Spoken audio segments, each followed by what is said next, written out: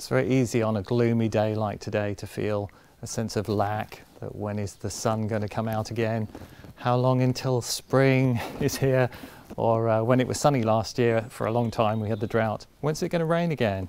Um, the first time I grew veg in my 20s, I grew uh, lots of rows of different things and everything came up except for the carrots. Um, but what was I focused on? The carrots. because there is that sense of lack and that comes from the importance of making sure that the larder is full and we have enough wood for the fire and that kind of thing. And so it's important for us to focus on those things. And yet, the downside of that is it's very easy for us to do that all the time and not notice the things that we do have.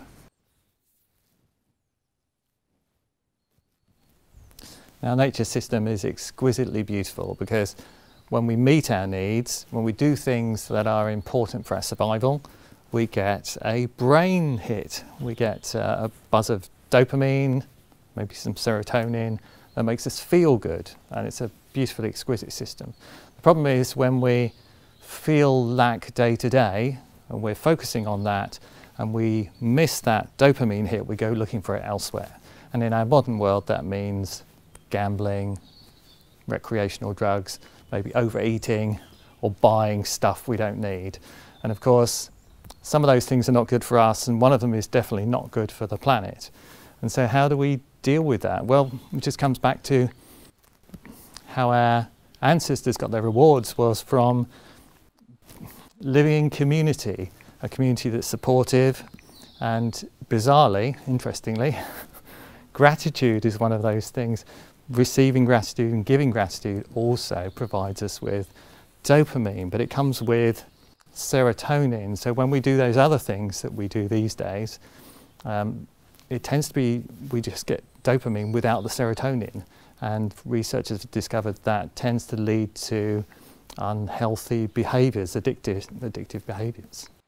When you think about it, the world is reminding us all the time to be grateful. Every time we meet somebody who hasn't got something we have, it's a reminder how lucky we are to have it, whether we're learning about people fleeing their homeland and becoming refugees, or somebody who's got toothache, or maybe somebody who's just living on the streets.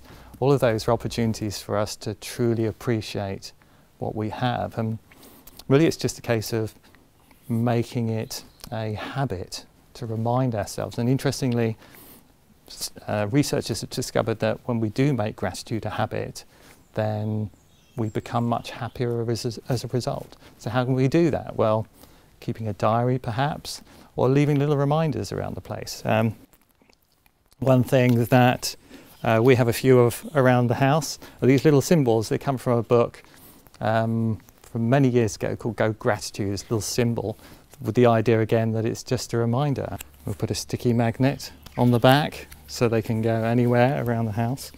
And uh, this one is on the strawberries that we harvested uh, last summer and we've stored for the winter. And there's lots to be grateful for here because we've got the variety of strawberries. Somebody, some people have grown that strawberry and bred it to be as big and delicious as it is. Um, the people that invented jars and made it possible and the dehydrator so we could dry them and store them for the winter. Um, all of these things, the people that help to pick them, all of these are opportunities to feel gratitude. And so um, what I'm doing is reminding us to, you know, start doing that because when we buy less stuff, we actually end up creating a world which has less stuff in it, but a lot more happier people. So find something to be grateful for this morning, uh, somebody you know or something you have, and over the next few weeks, I'll be creating a set of videos about things that I think we should be grateful for, but perhaps we don't always give a lot of attention to.